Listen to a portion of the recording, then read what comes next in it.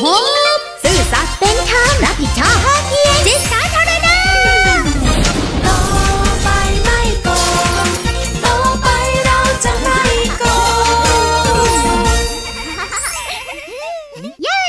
ตอน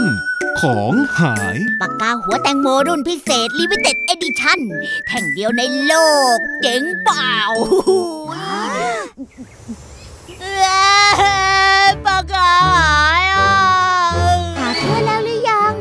คนขโมยไปแน่ๆเลยอะ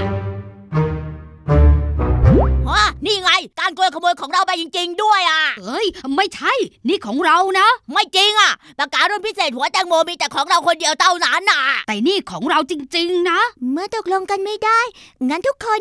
เปิดสารก้านกล้วย ปากกาแท่งนี้เป็นของเจ้าหรือเปล่า ใช่ครับ ผมซื้อมาเมื่อวานนี้ครับ แล้วเจ้ามีหลักฐานไหม ไม่มีครับ แตงโม มีหลักฐานอะไรว่าปากกาเป็นของเจ้า หลักฐานชัดเจนอยู่ที่หัวปากการูปแตงโมครับ ถ้าของก้านกล้วยก็ต้องเป็นหัวช้างสิครับ ก้านกล้วย ยอมรับไหมว่าเจ้าขโมยมา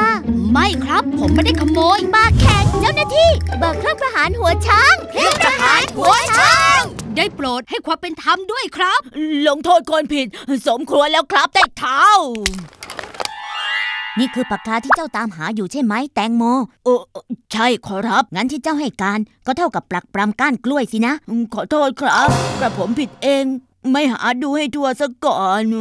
ข้าเกือบลงโทษคนผิดไปแล้ว ขอโทษเจ้าด้วยนะก้านกล้วย นี่เป็นความรับผิดชอบของข้าเอง ไม่เป็นไรครับ ใต้เท้า รับผิดชอบต่อไปเราจะไม่